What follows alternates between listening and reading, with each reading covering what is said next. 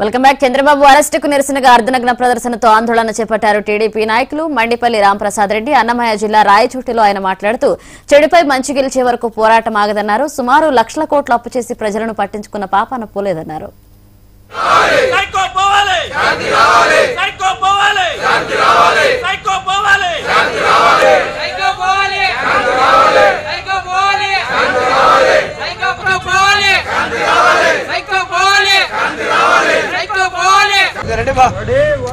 మన తెలుగుదేశం పార్టీ యువ నాయకులు కేంద్ర ప్రధాన కార్యదర్శి నారా లోకేష్ బాబు గారి పిలుపు మేరకు మన ప్రియతమ నాయకులు గౌరవనీయులు మాజీ ముఖ్యమంత్రి వర్యులు మన పార్టీ అధ్యక్షులు నారా చంద్రబాబు గారి అక్రమ నిర్బంధన నలభై రోజు పురస్కరించుకొని ఇదే రోజు దసరా పండుగ వచ్చింది. ఈ పండుగకు చాలా విశేషం ఉంది.